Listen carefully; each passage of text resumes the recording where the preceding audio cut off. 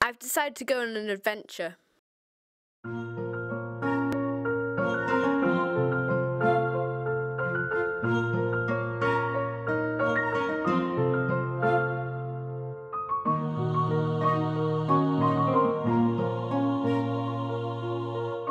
My mother once told me our mortality is only an ephemeral consciousness, and growing up is merely a fundamental passage of time leading towards the penultimate conclusion.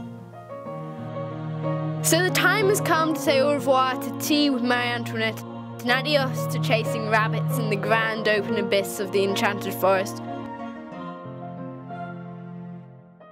Now it's time to swap my colourful bowl of cereal for toast and coffee and settle down to nine to five days of stapling and making endless photocopies of photocopies. Perhaps I need to rethink this. But before I even have time to think, the adventure begins. First school, college, university, and then I am ripped from the safe bosom of youth and thrust into the terrifying unknown of adulthood. Surely there should be some sort of guide, a survival guide to the survival of life. Things to include a pocket watch to tell the time, Wuthering Heights by Emily Bronte to keep me down to earth about the notion of love, a magic wand, protection, a toothbrush to keep clean, a satchel to carry it all in, and a jar of hope. Or an egg in case I get hungry. If only I could turn back time.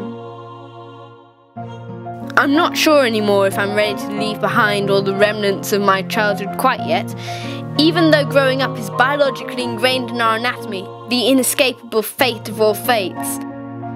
I think I'd like to hold off the adventure for a little bit. Adulthood can wait. Just a little while longer.